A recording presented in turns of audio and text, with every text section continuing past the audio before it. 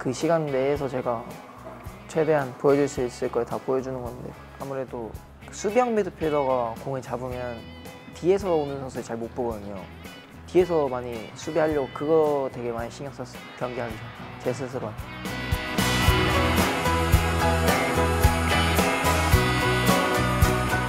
그 아마 그때도 그냥 마지막이라 생각하고 뛰었을 거예요.